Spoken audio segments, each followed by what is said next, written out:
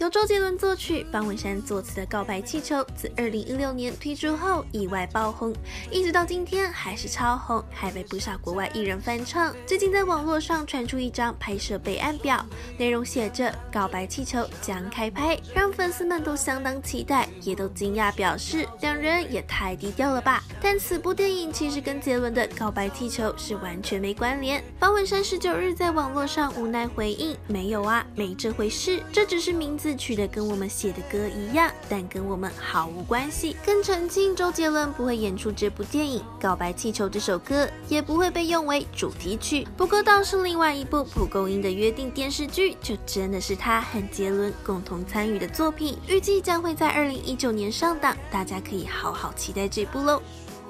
非凡娱乐整理报道。